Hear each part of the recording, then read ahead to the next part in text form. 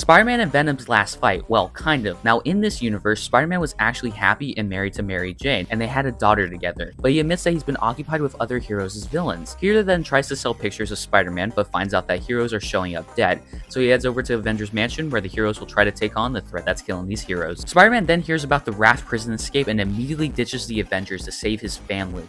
He bursts through the window to see Venom holding his family hostage. Spider-Man then fights Venom, and Mary Jane would catch a ride on the passing fire truck. Venom would catch up to her, and Mary Jane would use the sirens to weaken Venom. Spider-Man would launch Venom into an abandoned burning building. The two would continue to fight until Venom admits that he will never stop and he will kill his family. After hearing this, Spider-Man would have the burning building collapse and kill Venom. He would then give up his role as Spider-Man to protect his family. But follow for more superhero content.